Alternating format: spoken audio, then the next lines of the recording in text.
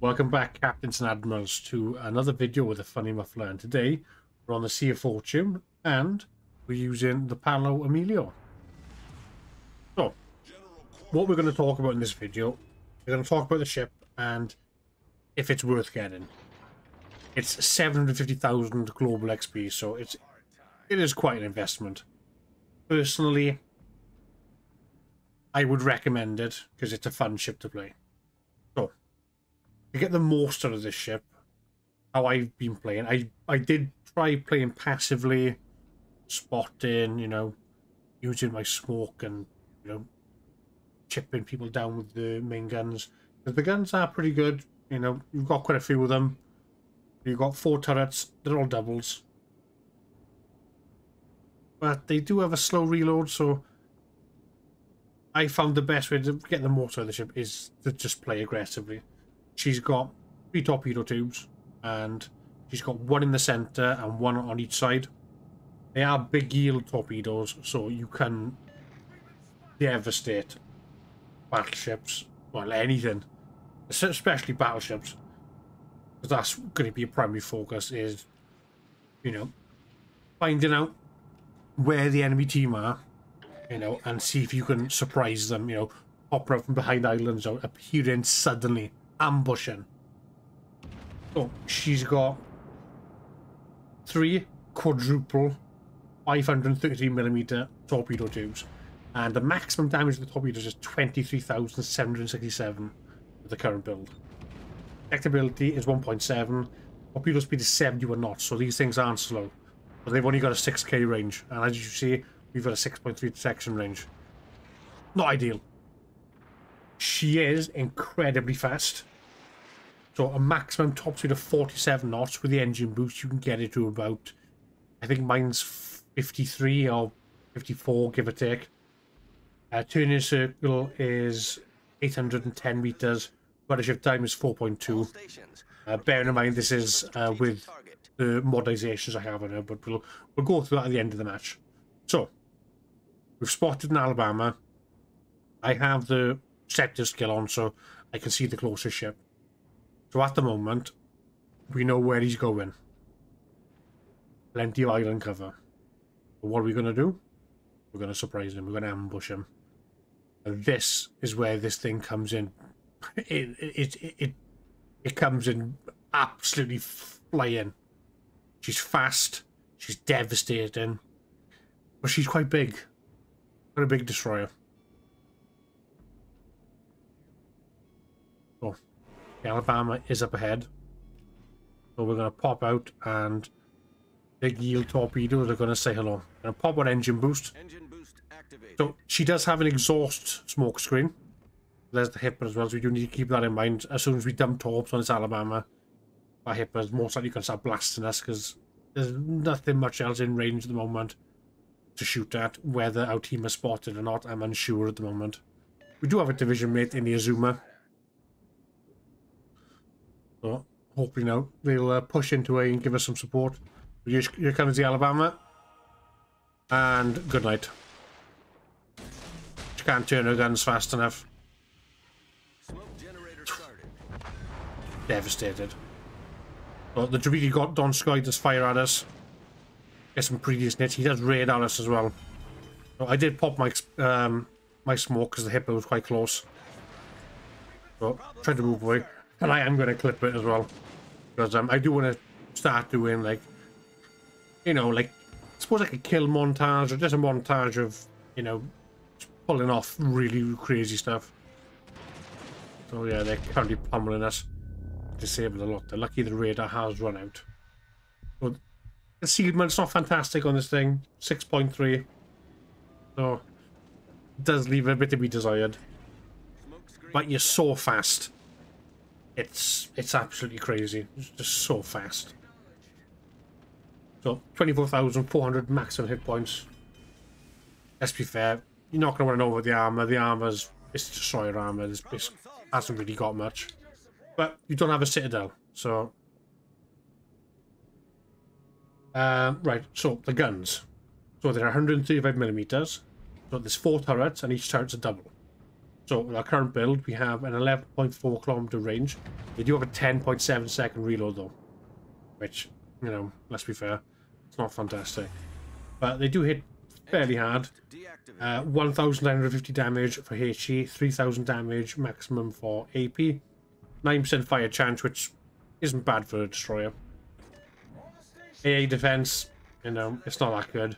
You know, she's got two dual uh, 76, tw um, 12, 13.2 millimeter Bredas, um, 20 millimeter, um, 6 quad, uh, 20 millimeter Bredas, and then uh, 135 millimeter, uh, 45 OTO, and she's got four doubles. But yeah, the armor, you know, 20 millimeters mostly on the bow and everything. You know, the guns have 33 to 75. But let's be fair, the armor's not going to be that much.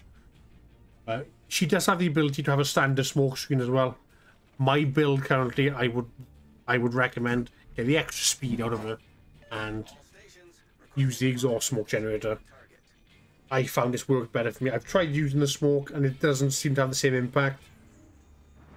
Because the exhaust smoke you can pop at full speed and especially when you got your engine boost going, you just you can close distance so so quickly. And if they haven't got a radar or sonar, you know, there's a good chance you're gonna nail them. So we took the Alabama out. We moved away. So it's another time for another ambush. AL New Jersey. Here we go. Another ambush. So, we get torpedoes away. I don't manage to turn in time to get the other torpedoes off because they're swinging around from the other side. It doesn't really matter. I will fire them off just in case he dodges, but, you know, it's probably only, only, going to take three torpedoes to destroy him. Because these torpedoes are so devastating. But I would really recommend just using the exhaust smoke generator. Oof. There goes New Jersey. Uh, we are opening fire on the Bismarck. We pop our exhaust smoke generator. Just for the cover, because we've got the um, the cruisers focusing out destroy them. Like I said, our guns have quite a slow reload. They are fairly punchy. You know, but it's not like, you know, it's not like Elbing guns or anything like that, so, you know, don't expect miracles.